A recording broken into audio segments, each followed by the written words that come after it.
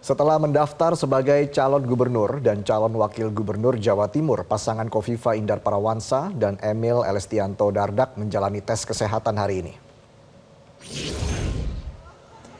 Sekitar pukul 7.30 pagi, Hovifah tiba di Gedung Graha Amerta Rumah Sakit Umum Daerah atau RSUD Dr. Sutomo, Surabaya dan disambut oleh pasangannya Emil Dardak. Tes kesehatan yang menjadi prasyarat pencalonan ini akan berlangsung dua hari.